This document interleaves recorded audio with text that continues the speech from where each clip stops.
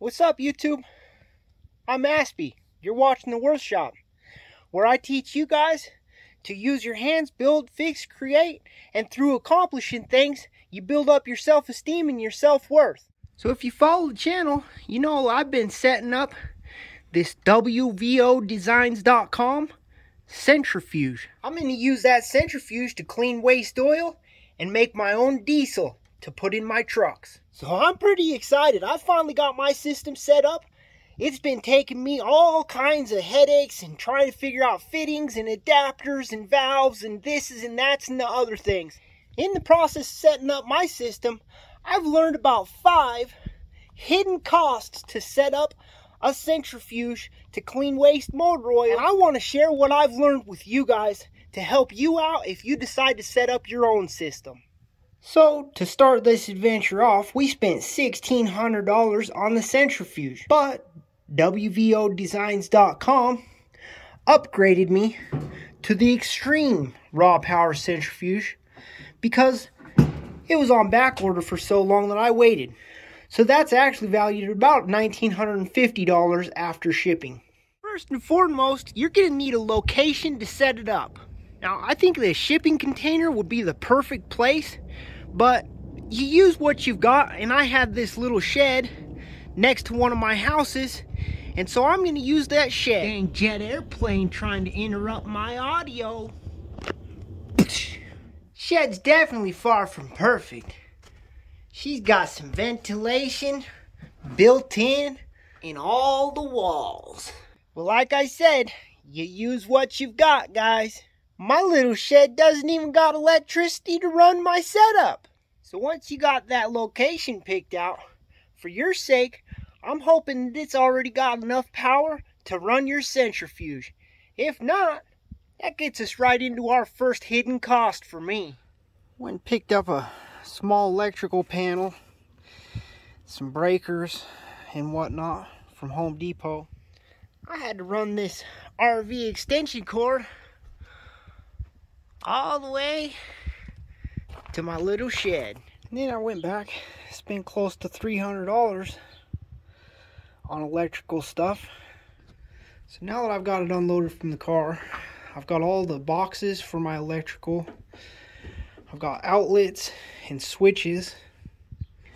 Got the breakers, all the cover plates, some wire, some staples to hold the wire, outdoor security light, light for in here, but I'm going to take off the glass and I'm going to put this little deal on it so that I got nice lighting inside of my shed. Once I had power to the shed, I ran it up to an outlet so I can run extension cords outside.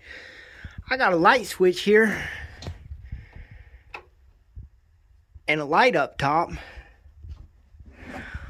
I also ran some more breakers, ran my power wires, and I put in switches for outlets so I can turn my water heater on and off and another switch to an outlet so that I can easily turn my centrifuge on and off. I also installed some outlets for my pumps. I'm going to go ahead and estimate that on the electrification of this shed, even though I added a few bonuses, I'd say I'm at about $450 total. So once you've got your location, you've got electricity to that location, you're going to need something for your centrifuge setup to sit on. Off I went to Home Depot. I spent about $320 with taxes on one of these Husky shelves. It's able to sport about 2,000 pounds per shelf. I figure that's plenty for a full 55 gallon drum. Yeah, I could used 2x4s and built something, blah de dotty dotty. Might have been a little cheaper. I could have even searched online and maybe found something used.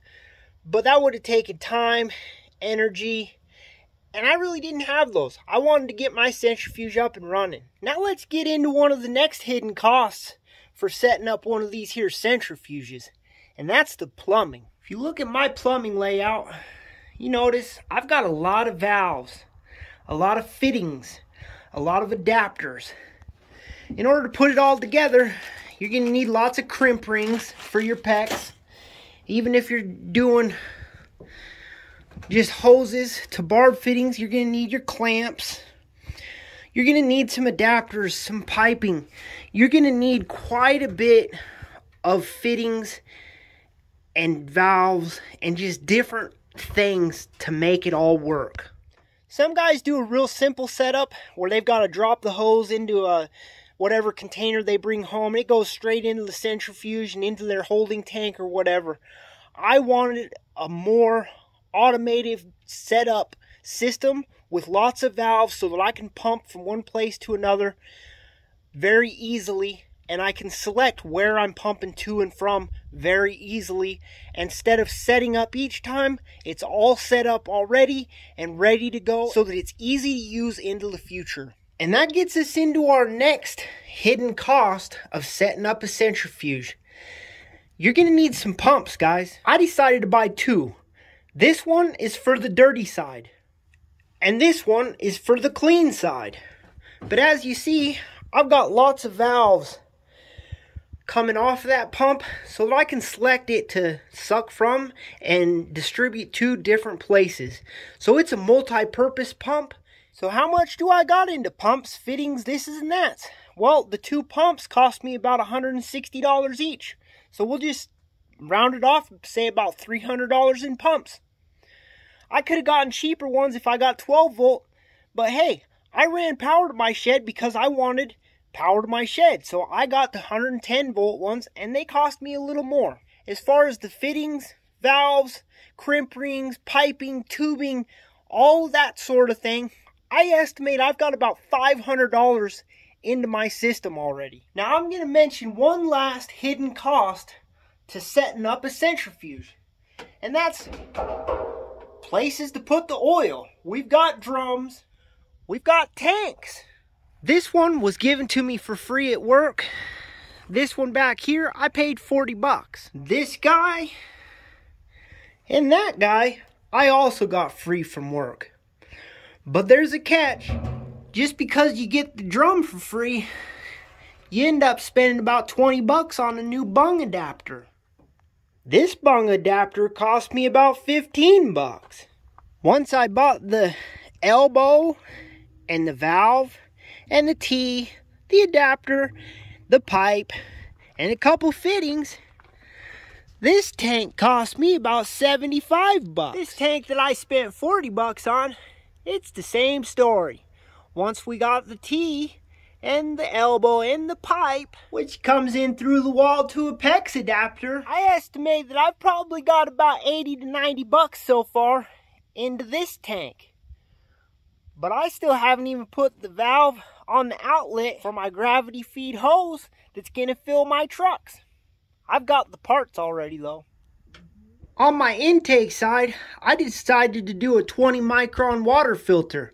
Why? Because I had it laying around from a previous project and I never used it. Give that dirty oil a little pre-scrubbing. Pre-clean the oil before I run it into the centrifuge.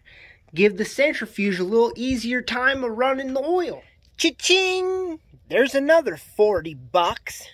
Another thing that I decided to do was go and buy this used water heater. I spent 80 bucks on this. It's a 110 volt water heater. It holds about 20 gallons. I picked it up on Facebook Marketplace. He had it listed for 150. I talked him down to 80. We're hoping it works. I didn't want to be struggling in the winter when it gets super cold. So I figured a hot water heater would help the viscosity of my oil thin it out before it goes into my centrifuge so I can run in the winter as well as the summer and help myself save even more money on fuel. Alrighty guys. So I hope this introduction to my waste oil cleaning system, my centrifuge setup, was something that you guys enjoyed. I'm hoping that it shares some information, gives you guys an idea of some of the additional costs on top of that $1,600 you're going to spend on the centrifuge to get it all set up and running. If you learned something from the video, if you enjoyed it, hit that thumbs up. It helps it get distributed to more people that could appreciate the information, might help them with their project. Anyways, till next time, believe in what God gave you, take on some projects, build, fix, create. It'll build up your self-esteem and your self-worth. Hit that subscribe button. You want to watch my goofy ass trying to figure this out and sharing the information that I learned along the way. Go ahead and check out my channel. Might be some other interesting diesel videos, my 7.3 IDI, 6.9 IDI videos that you might be interested in. I've also got the unboxing video from the centrifuge and the setup and wiring video from the centrifuge. I'll put those links in the description. Till next time, keep building shit.